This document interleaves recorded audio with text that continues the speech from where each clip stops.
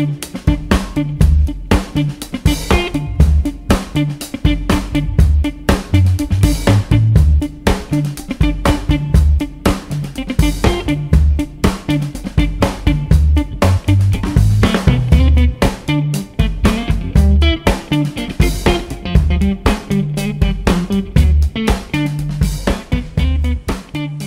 Brian from OldCamReview.com. I'm here with another camera today. It's not such an oldie and, and not as old as certainly uh, uh, any of the other cameras I reviewed, but this is a, a, newer, older camera. This is the Canon Elan 7NE. Uh, this is basically Canon's last uh, high-end consumer or prosumer level uh, film camera. This camera is was a technological tour de force, as they would say uh, when Canon came out with it. It was really came out sort of when digital was really starting to, to break into the market. Um, it was a uh, sort of the last hurrah, I think, for uh, for for film cameras, uh, or certainly uh, Canon's uh, film cameras. Um, it, it, it, had a lot of technological features. The metering was great on it. Quick autofocus. Um, and kind of the uh, sort of the cool feature that this camera was famous for was the was eye control focus. Uh, so basically, wherever you look, uh, the camera would focus on that point, and uh, it, you know, some people had mixed reviews with it. People with glasses had a little bit of trouble with it. I personally really like it. Uh, it works well for me. I haven't had any really problems with it. it does, excuse me, it does have to be calibrated. Um, but once you calibrate it, uh, it does work pretty well. Uh, I had this camera a number of years ago, and unfortunately, I, I had uh, sold it or traded it in for a, a digital camera at the time, uh, but I always regretted getting rid of it. So I've uh, just recently picked this one up. It just came with a kit lens. Um, these cameras could be had very reasonably. I remember uh, when I first bought mine, they paid in the neighborhood of, I think it was like six or seven hundred dollars for it and I picked this one up very cheaply and it was in like new condition. I actually had the 7E uh, the 7NE was uh, a little bit of an evolution uh, in the camera. Uh, mostly the changes that came with it were changes in the finish and um, some metering uh, uh, changes. but overall, it's pretty much identically the same. It's an identical camera between the 7E, 7E and the 7NE. Um, this camera was available without the eye control also, but I figured if you're going to buy the camera, you might as well get it with all the bells and whistles, even considering you know how cheap the camera is right now, how much you can get it for. I'm seeing these in the neighborhood of you know $100, uh, sometimes with a lens, sometimes without. This is a very cheap uh, kit lens with it, uh, certainly no, uh, no great glass here. But uh, a nice thing about this camera is, is it does take uh, the the uh, Canon autofocus lens, the EF lenses, um, but it won't take uh, the lenses that have motion stabilization. So if you see those, I think it's the EFS lenses that uh, that it won't work with. Uh, um, but yeah, it won't won't work with those. So you're kind of out of luck with that. But you can get the newer, you know, any pretty much any any good glass you you can get for this camera. Um, certainly the image stabilization won't work, like I said. So. Um, the camera has, again, a lot of nice features. It's the uh, uh, eye control focus, which is great. Uh, it has different focus controls. It has one, one shot, I don't know if you can see it here, AI focus and servo. Um, so, uh, you know, th those focus modes are pretty fast. This is for the eye control to leave it off, uh, turn the eye control on, or you can calibrate it here. Um, Canon really laid out uh, everything on this camera very nicely. It, it, it is a, a nice setup. Um, if you uh, turn on the camera here, there's a uh, backlight, and it's a blue backlight. I don't know if you can see that or not, but it really is kind of good looking.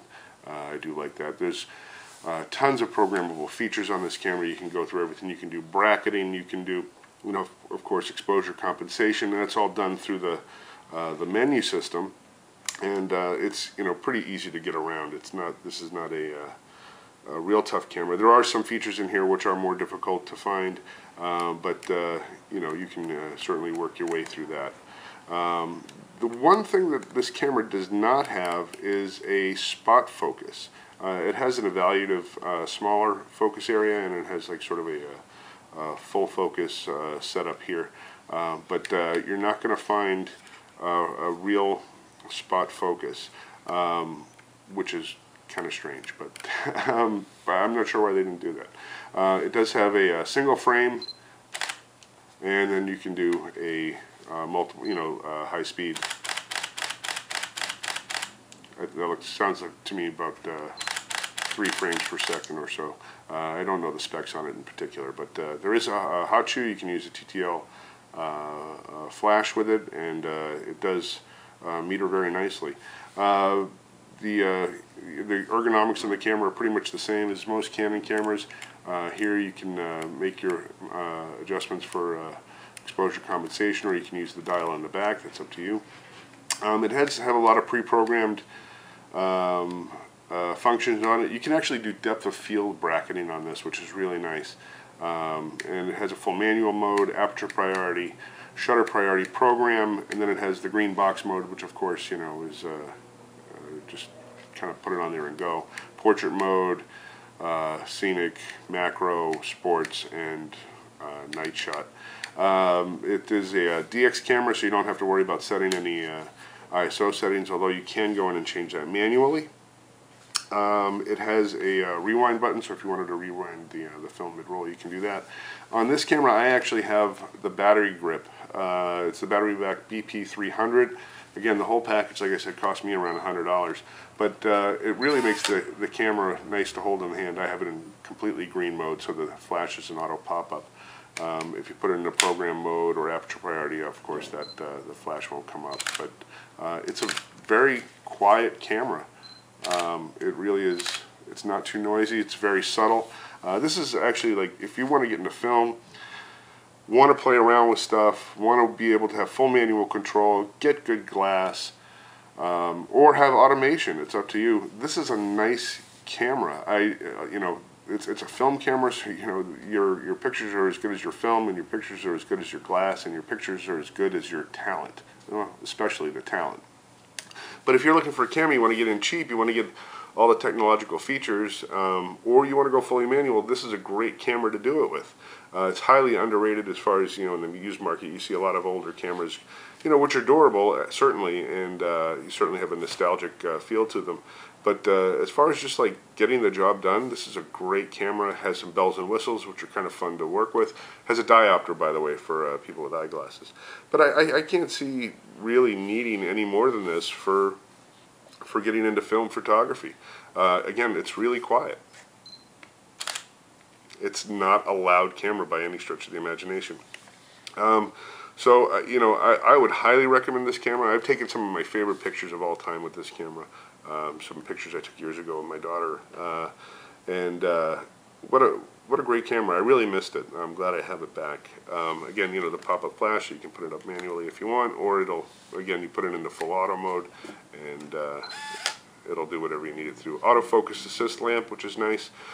There's a lot of stuff on the web as far as finding out the features of this. I would recommend looking further into it. Um, but uh, again, another one of these cameras, I, I, I highly recommend it. Um, I think it's a great camera. Uh, like I said, I got this one in like new condition, literally. Like it, I don't think it had ever been used. It was just pulled out of a, a bubble wrap bag, um, and it doesn't look like it had ever been touched. and the uh, it's really lovely. It's just a neat camera, and uh, I, I, can't imagine anybody would need any more, especially if you're just getting started in uh, film photography, you have access to all that great Canon glass. Although the lenses are a little bit more money than if you were to go for a full manual camera and get the uh, Canon FD lenses. Um, you can easily transition your uh, your lenses from this if you're like a uh, digital Canon shooter uh, and you want to take those digital, you know, the lenses from that uh, and put them on this camera, you can do that. So um, once again, great camera, quiet. It's fairly light too. It's really not a big heavy camera. So if you know uh, you don't feel like lugging around a big monster. This is a good camera to do it. I put the battery grip on because I have big hands, um, but the battery grip comes out very easily, but it makes it a much smaller camera. Um, so, you know, if you're looking for, I would say it's about the size of, you know, a, digital Rebel, maybe a little bit bigger. Um, but uh, I personally really like having uh, the battery grip. I like the size of it. And for me, if I'm carrying around a digital SLR, I guess I really don't, doesn't matter how physically large it is. Um, weight can get to you though, but this camera, fully loaded with everything, is not a heavy camera. Um, there we go. Anyway, uh, the Canon Elan 7NE or the Canon Elan 7E or the 7. Uh, the 7N also. The ones without the E again don't have the eye control. Uh, but uh, yeah, check them out. Really, really neat camera. Uh, good quality. Metering is nice. Uh, I've never gotten, you know, a bad picture unless it was like clearly my fault. Um, Anyway, that's about it. Uh, hope you guys enjoy this. Uh, let me know if you'd like to see more or uh, what else you're looking for. If I can find a camera that you're looking to review, I will review it. Uh, if not, you're more than welcome to send me a camera. I promise I'll send them back uh, if you want me to review it on uh, on here. So, anyway, that's about it. Brian from OldCamReview.com, and thanks a lot.